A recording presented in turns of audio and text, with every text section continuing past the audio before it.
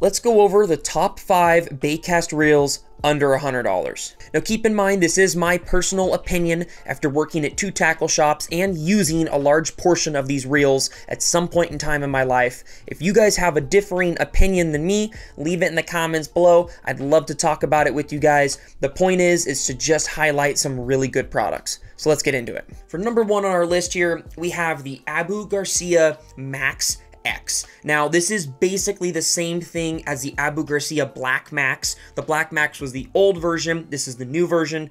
I can't tell you how many people this has been their first reel that they've ever had, right? Their first ever baitcast reel was an Abu Garcia Black Max, or now the Max X.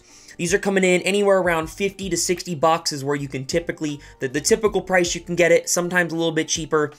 Um, these are a phenomenal little reel for 50, 60 bucks. I'm not a big fan of baitcast reels under $100, but there is a couple, like the five in this list, that I think are, are pretty dang good products. This reel is very widely available, lots of different tackle shops. Um, like I just got this, you can buy this at Walmart. I mean, you can buy this at Cabela's, Scheels, um, tons, Big Five, tons of different sporting shops have this. Um, overall, you can still feel, of all the reels on this list, this is definitely the one that feels the cheapest. Just in your hands moving it, you can definitely feel uh, it just doesn't have that same level of quality as a couple of the others on this list. Another thing I'm not a huge fan of is the colored knobs. I think it just makes it look really cheap. Not a lot of reels have colored knobs like that.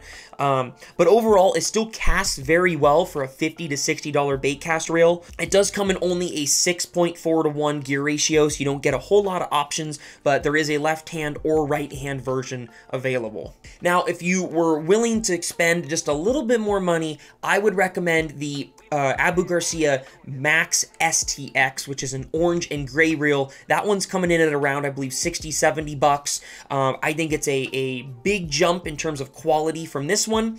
However, I didn't include it on this list because I just had a couple other reels I really wanted to highlight in here, and I feel like I, I had to get something around that 50 to $60 range, and this one is the only reel that I would buy for that price range. But yes, the Max STX and Max Pro are also great reels under that $100 mark as well. Now, number four on this list is going to be the Daiwa CC80. Now, there is a couple others. There's the Daiwa CR80 and the Daiwa CA80. I haven't done a whole ton of research in terms of the difference between those rails, but the one that I have seen the best reviews for seems to be the CC80. It's coming in at about $70.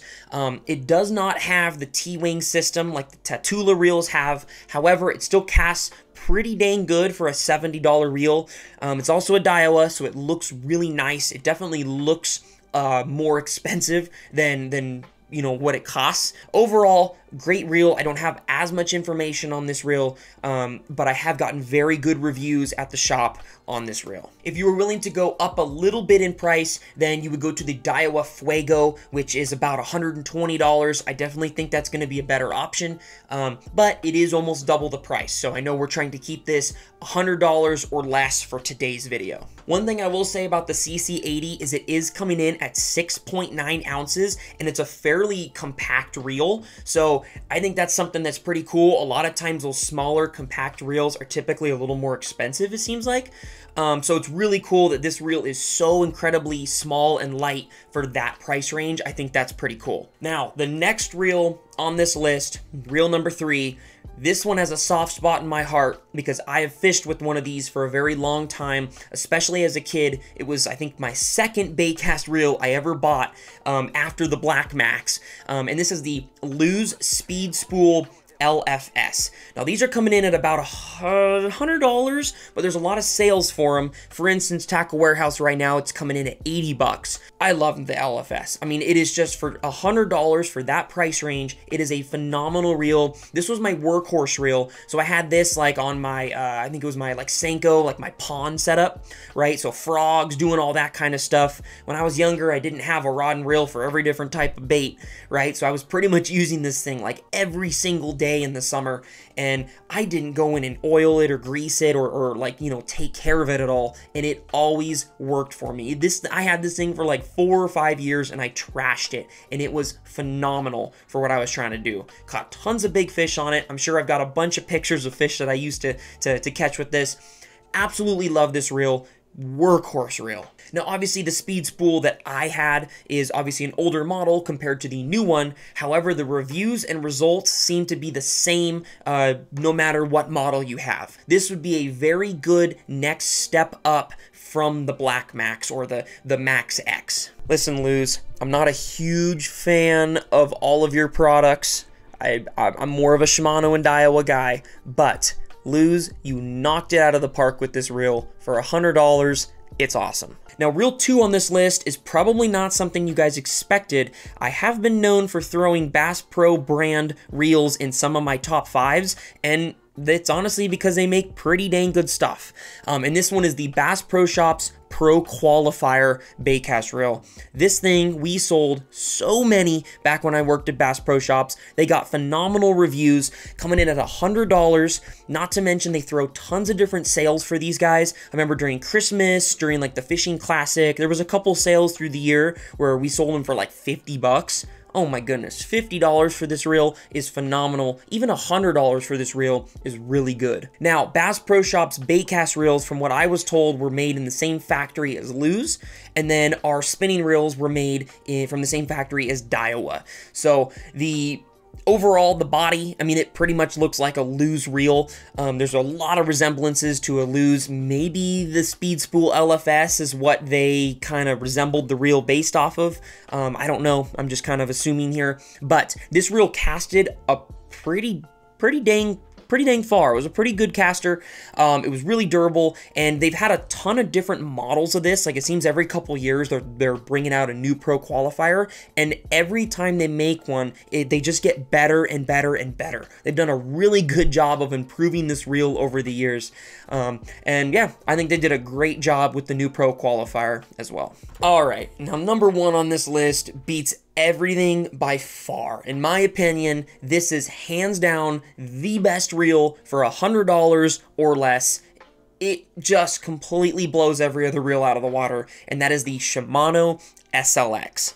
Coming in at $100, the Shimano SLX is one of the best things that Shimano has ever created. The brakes and casting on this reel feel like a $150 or higher reel. It is just for the money, this is the best bang for your buck reel that you can get on the market today.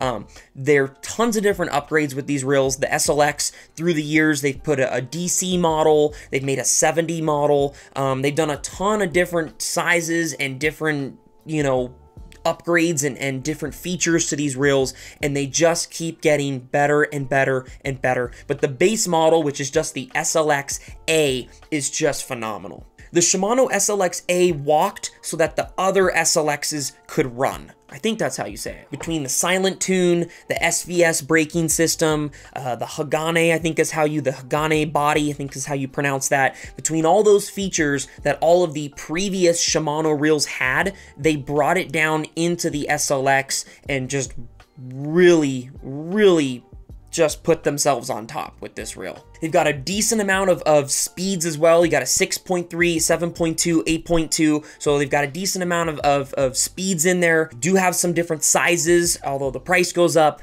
Um, they still look phenomenal. They look like your classic Shimano reel, but they've got a little bit of blue accent on it, which is really cool. A lot of, a lot of Shimanos use typically just that silver body, so it's cool to have a little color in there just phenomenal reel. It, it feels more like a $150 baitcast reel in your hands. If you guys want to see a couple rods that would pair up really nice with these reels, I will put them right up here for you. Hopefully you guys enjoyed the video. If I missed a product, let me know in the comments below. I'd love to talk about it with you. See you guys next time on Humbug Videos.